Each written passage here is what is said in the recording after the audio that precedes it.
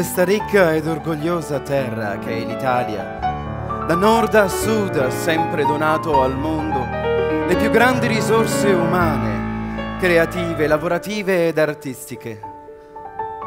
Le tantissime eccellenze nel settore industriale e artigianale hanno sempre sostenuto l'economia, divenendo di fatto il vero tessuto connettivo di tutta la nazione.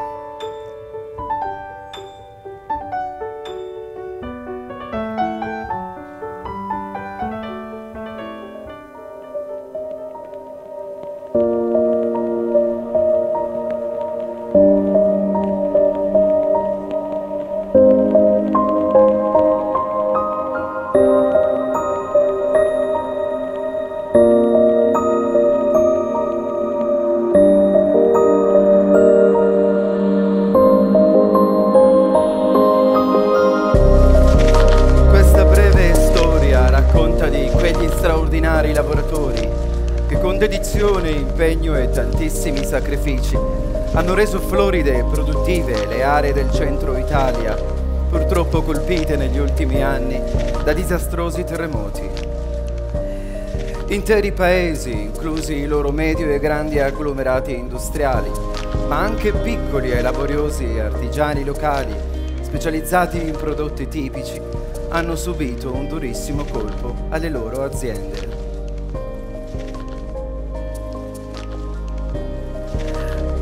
Amatrice, Accumuli, Città Reale e molti altri sono tra quei paesi dove si sono subiti i danni maggiori.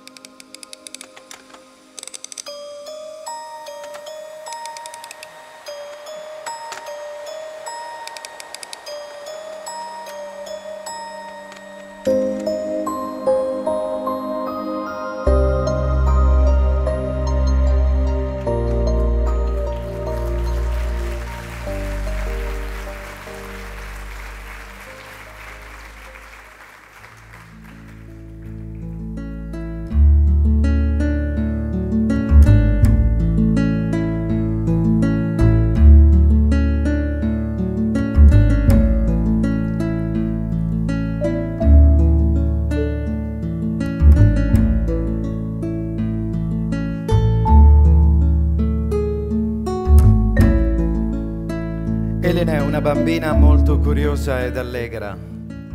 Suo padre ha sempre lavorato in una bottega vicino a Matrice, un posto specializzato nella produzione di salumi d'eccellenza tipici del centro Italia.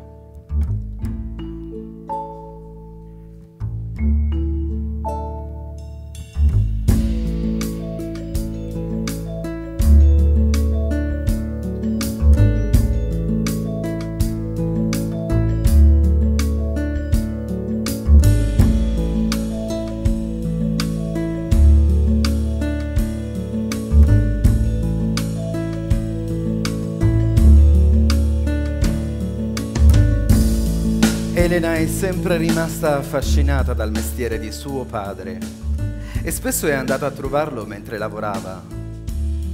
Gli vuole un gran bene e giocare mentre lui lavora la diverte moltissimo, fino a quando una sera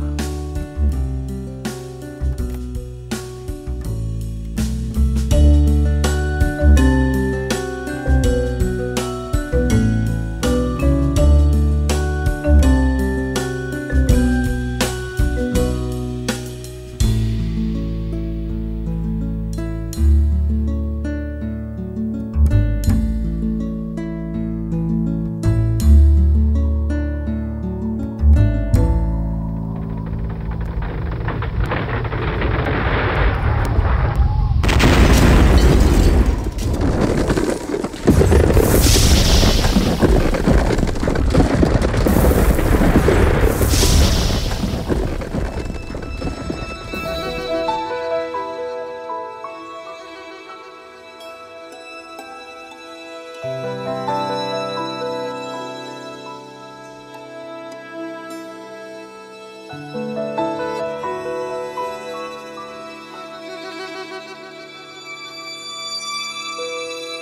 a quando una sera la terra trema e tremano anche i sogni, si infrangono le speranze, i progetti ed il futuro è lontano ed incerto.